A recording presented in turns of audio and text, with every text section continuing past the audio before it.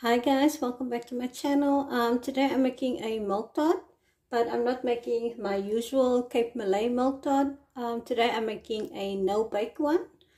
Um, please give this video a like, I would really appreciate it. Um, and you would be supporting my channel.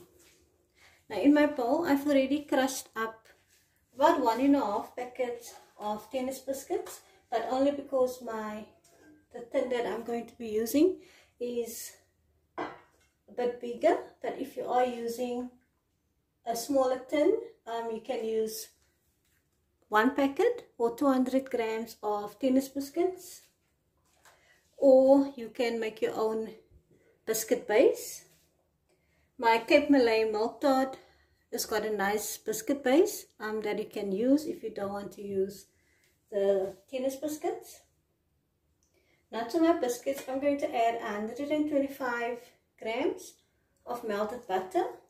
But bear in mind, if you are using 200 grams of biscuits or like one packet, you would only be using 100 grams of melted butter. So I'm just going to coat all my biscuits.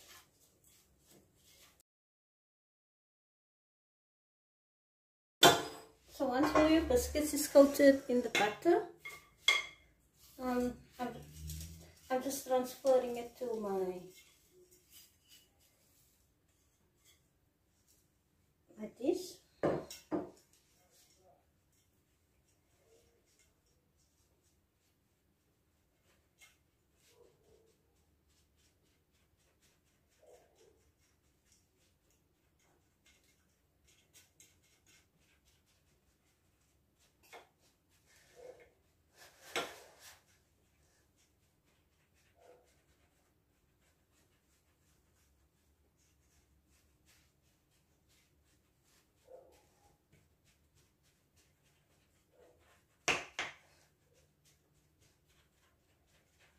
So now I'm just going to place it into the freezer while I make my filling. Now for my filling, to my pot I'm going to add a full tin of sweetened condensed milk.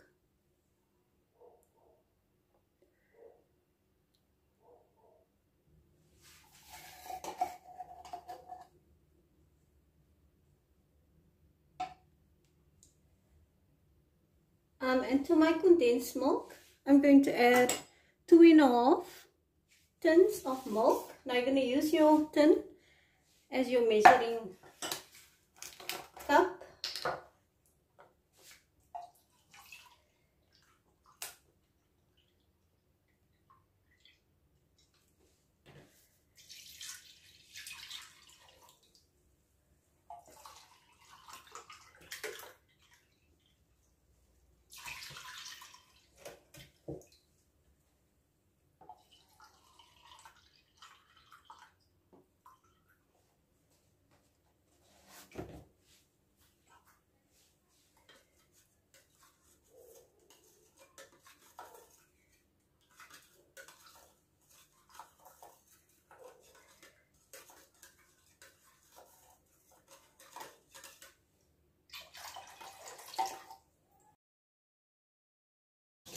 Um, and then I'm just going to place it on a heat, just to heat up my milk. Now this recipe you can do in the microwave, so at this point you can transfer to a microwave safe bowl and heat it in the microwave.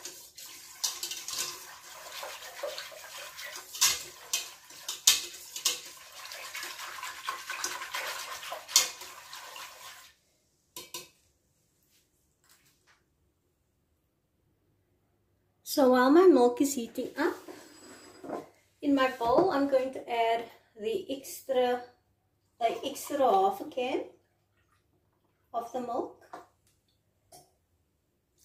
So in total you will use three full cans of milk.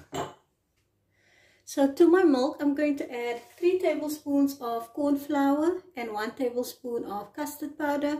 Now if you don't have custard powder you can just add 4 tablespoons of corn flour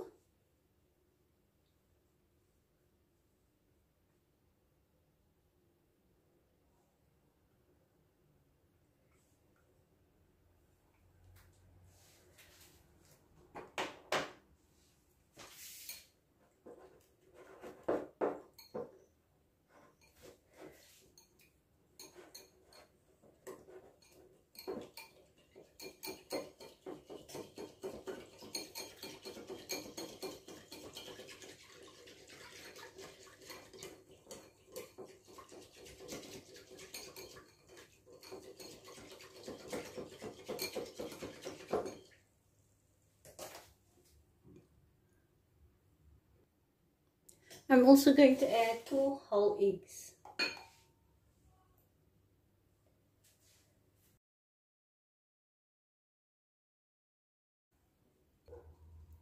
Okay, so as you can see, my milk has heated up. Now what I'm going to do is I'm going to take about a third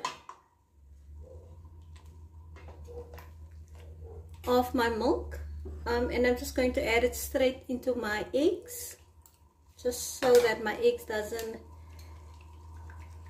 curdle in the pot.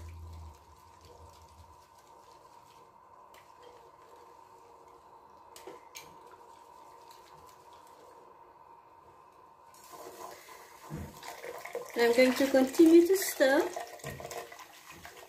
until my mixture thickens up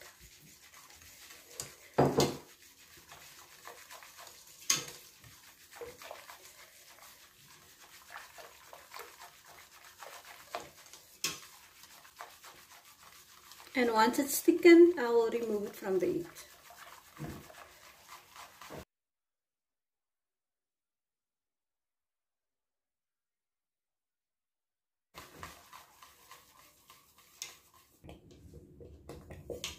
So now as you can see my mixture has thickened up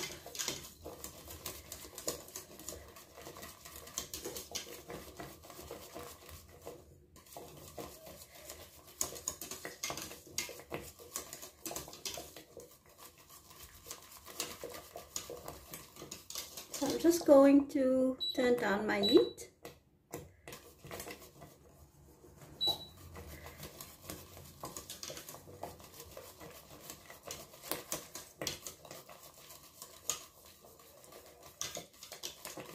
Um, and I'm going to remove it from the stove. Um, so now I'm going to add about a teaspoon of vanilla essence.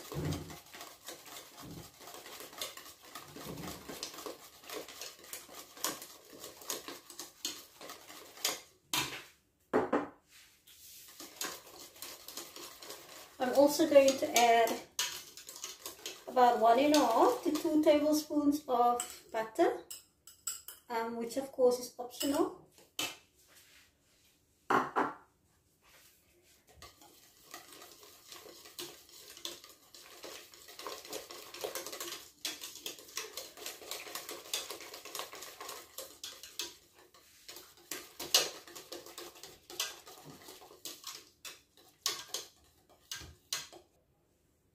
So I just removed my biscuit from the freezer. So now I'm just going to pour my filling straight on top.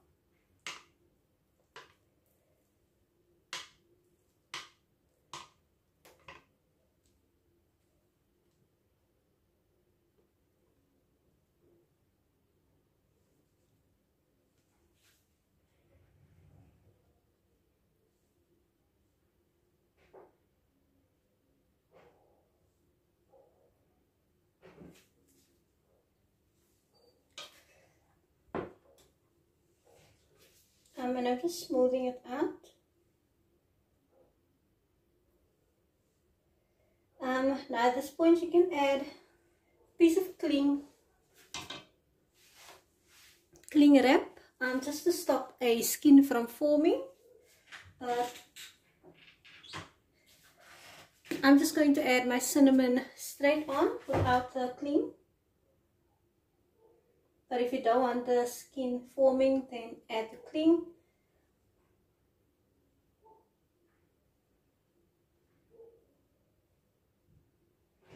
So I'm just adding some cinnamon.